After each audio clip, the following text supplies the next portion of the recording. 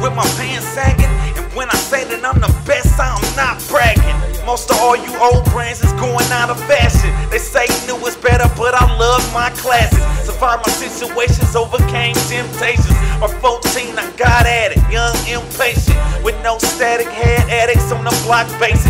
When Perry died, it taught a nigga how to be patient. My first lesson in the game came with depression. It cut my stomach like a C-section. Jesus rollers, watches, what's a secret? I'm not siding on you niggas, I'm just glad I'm breathing. Cause they'll kill you in this life for no fucking reason. Time after time, niggas dying folk season. Can I live one time? Don't wanna come leave it. I'm keeping money on my mind till I'm done eating.